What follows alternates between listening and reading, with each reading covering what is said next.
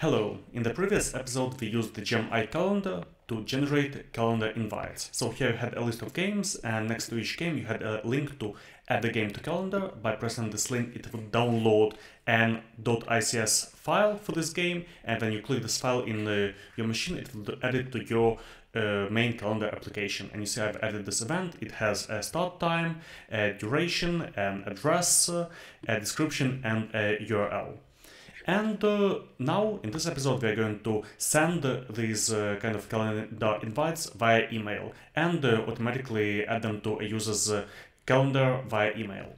So we have uh, already created an iCalendar event service in the previous episode and we have called the service in a controller action right here and we basically uh, had this uh, format ICS that would uh, download a .ics file that we generate from this iCalendar event service. And now we're going to send this uh, kind of information via email. So to send emails, we'll need to generate a mailer. So we're going to use action mailer for this, and we're going to generate a mailer, Rails generate mailer. The mailer is going to be for games, so it is going to be game mailer, and our action will be invite, for example. So we have just generated a game mailer. Here it is. We've got the invite uh, action, we've got the invite template, and we've got uh, game mailer preview. Let's preview the email.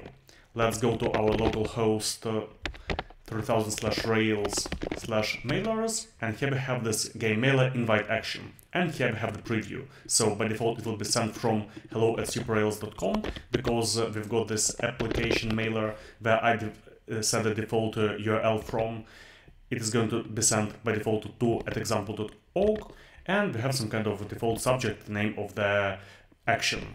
So uh, let's try adding an attachment. We want to attach this kind of iCalendar invite.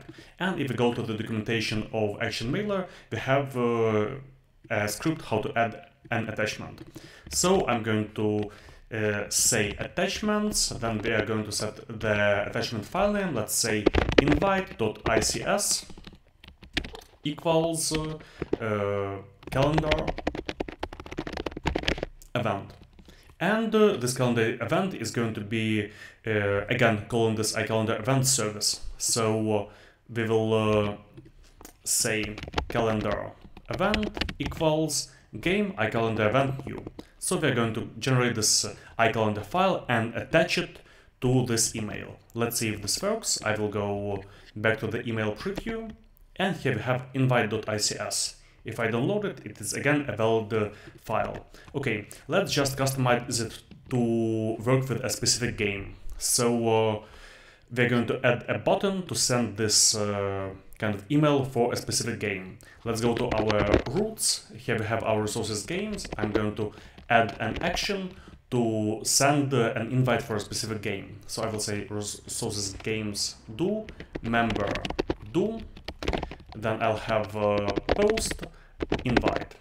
And in the games controller, I'm going to add a new action, uh, def invite. And in this action, I'm going to call game mailer dot with game equals add game dot uh, invite dot deliver now. And I'm going to redirect to add game with some kind of notice uh, like invite send.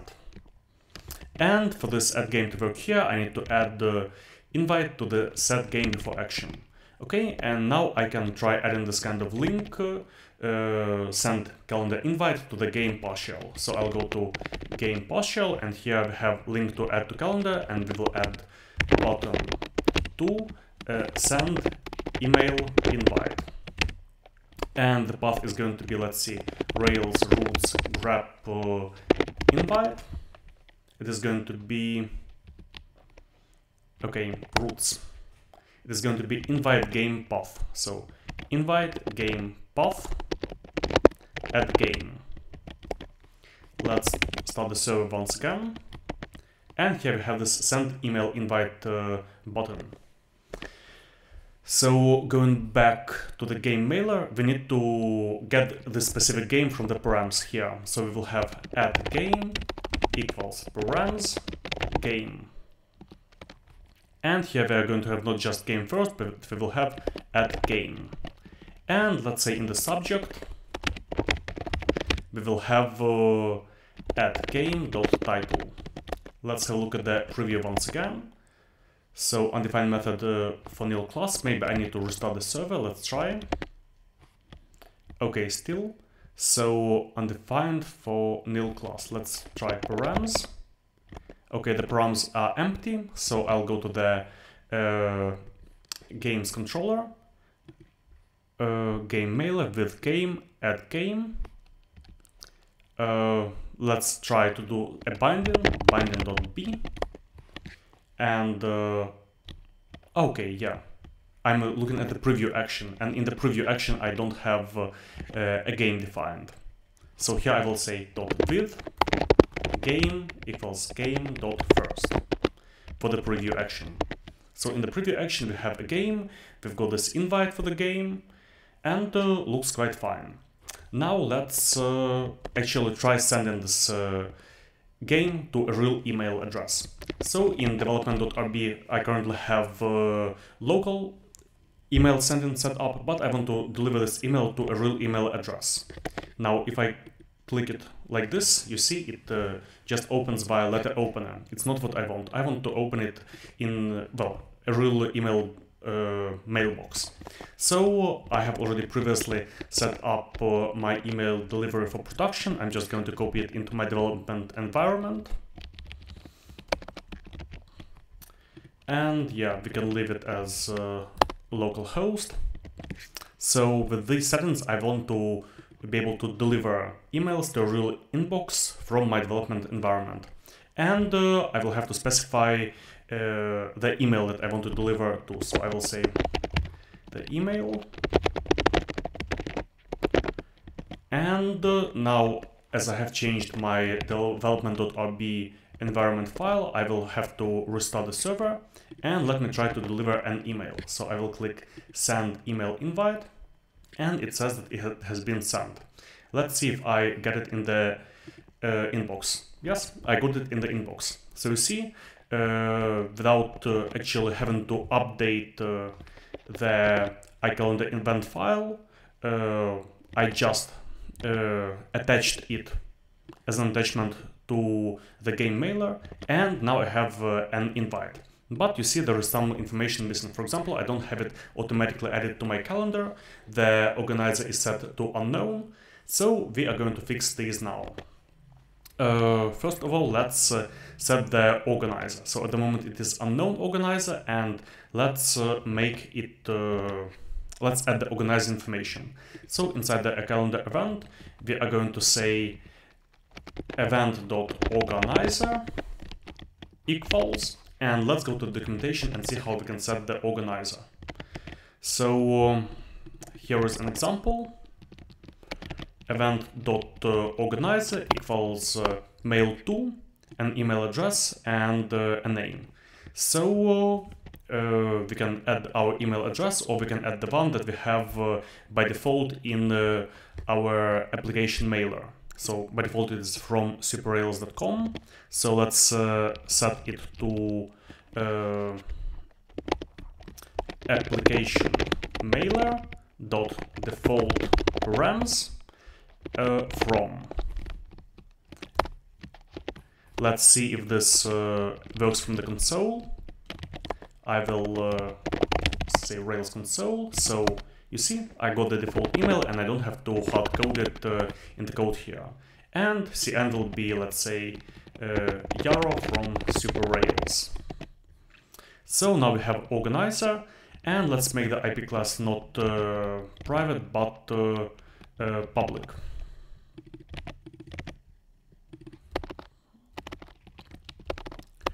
Okay, let's uh, resend the email. So I will click send calendar invite once again. And let's uh, have a look at what we receive. So I've got a new email. And you see, now we do have an organizer, it is Yaro from SupeRails, but we still don't see it added automatically to our calendar. So to have this event automatically added to the calendar, we'll have to say uh, something like uh, uh, calendar dot ip method equals request. So here you see we have uh, yeah, actually we have to add this IP method uh, after publish as far as I remember, otherwise it might not work correctly. So um, let me try to send the email invite once again. And let's see if it is automatically added to the calendar. So uh, you see, in the previous email we didn't have these options of yes, maybe and no. And uh, as we set the IP method to request, now we have the option to say yes, maybe or no. But we want to automatically say yes. So only if we automatically say yes, it will be automatically added to the calendar. So we will have to set up the event attendee, e.attendee equals. And uh, we are just going to copy these, uh, this iCalendar value calendar address. In mail 2, I'm again going to hardcode uh, an email address, but uh, you don't have to, you can get it in the params the same way I get the game. So uh, I will just copy this email. You see in this application that we are using for the demo, we don't have current user, that's why I'm hard coding it. And instead of uh, cn, uh, we're going to remove, yeah, let's remove the cn. So we've got the event.attendee. Let's uh, resend the calendar invite once again and see what we receive. Will it be different from this one or not? Okay, so sorry we were unable to update this event in the calendar. So uh, looks like something was wrong. Did I type attendee correctly? Let's see. Yeah, so we have event.attendee. Okay. Uh, let's see.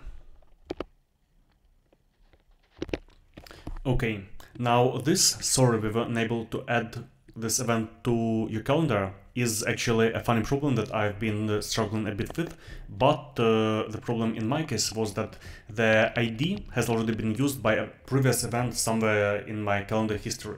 So this unique ID wasn't really unique in my calendar. So to make it even more unique, I'm gonna say something like uh, game uh, or game ID and uh, yeah, just make it more unique. So something like this, for example.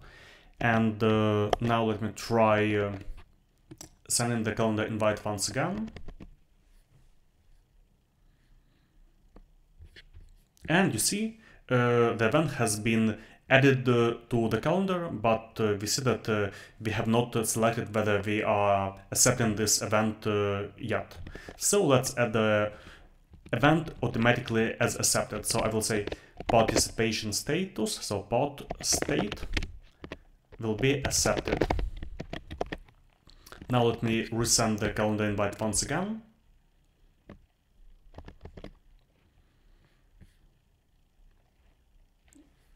Okay. So I'm looking and you see the event has been set as yes by default. So you see I have sent the person to whom we are sending the email also as an attendee to this event and the participation status has been set to accepted. So like this we can push events directly to a user's calendar. And now, what if the duration of the event changes? Let's see if it will get updated in the calendar. So I'm going to change the duration of the event. Let's make it not uh, two hours, but let's make it uh, four hours long. Let's say 18, for, uh, five hours long. I'll click update game and I will send email invite once again. And let's see if the duration of the event in the calendar will get updated on its own. So you see, we have sent the update and without any uh, end user interaction, the event has been updated in his calendar. So works uh, quite nicely. And uh, what if the event gets cancelled? We can also change the event status. Let's say e.status equals Okay, so event.status will be cancelled. And let's send uh, an email update. So I will send the send email invite. And now I expect the event to, do, to vanish from the calendar because it was cancelled. And you see, it did actually vanish. So uh, yes, I think that's uh, about it. Uh, we have uh, managed to send the email invites and they automatically added to users' calendars. Thanks for being with me and have a great time. Goodbye.